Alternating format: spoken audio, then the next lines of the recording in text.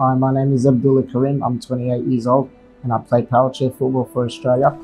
I'm Australian Lebanese Muslim and I have a disability called limb deficiency and um, scoliosis. Uh, scoliosis developed when I was uh, at the age of five years old, severe curvature of the spine. Uh, limb deficiency is obviously I'm missing um, arms and knees and um, a toe on my right foot.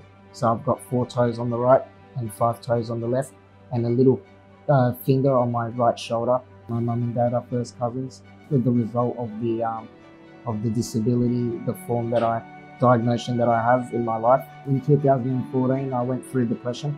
Um, I nearly committed suicide. I nearly killed myself. Obviously, I was going through a tough time. Uh, I don't know what it was. It, you just it can be these little things. It could be somebody um, not supporting you. Maybe you're not getting enough support. And here we are five years later, and um, I'm speaking to the public, which is awesome because um, it's uh, something I've always wanted to do. And uh, not only that, but um, I'm just happy to speak uh, to people um, and just let them know that not to worry about anything in life that much and just be positive, be happy, and uh, things things can go your way. We have our challenges in life, we all do. You know, 80% of this world probably suffers depression. So um, we're not perfect. We are human. Don't forget the milk, Mum. Yeah.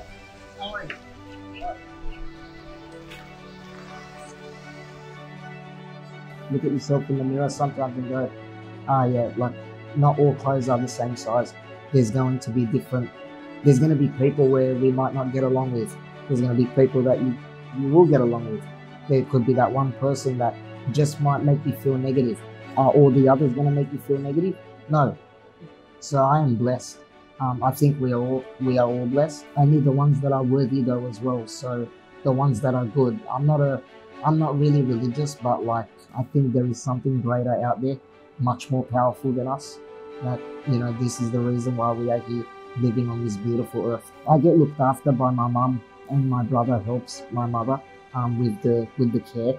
So obviously I can't get myself out of bed because I have no arms and I cannot walk. So I need help with this type of stuff. Stuff like brushing my teeth, dressing me up, my clothes, putting my clothes on, taking my clothes off to put new ones back on, putting me into the chair to start my day in the morning. I operate the chair with my foot, my feet, my left foot. I operate my phone with my right foot. I play Xbox. I, I do everything with my feet. I mean, they're like hands. So without my feet, I don't think I would be anywhere where I am today. I wouldn't be where I am today without my family, without my mother. I think God has given um, my mum the strength and the power, but also tested her as well. My mother told me a story where she was looking after disabled kids when before I was born, before she gave birth to me. And uh, subhanAllah, here we are today. She's given birth in 1991 to a disabled boy. And um, mate, I think she's blessed.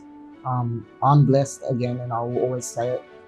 I'm not a big believer, but like I, I do have faith. I don't really have any more much to say, really, but uh, keep positive. Do what you love doing. That's not what was said. Life is not guaranteed to be easy, but I'm sure we can um, make the most of it.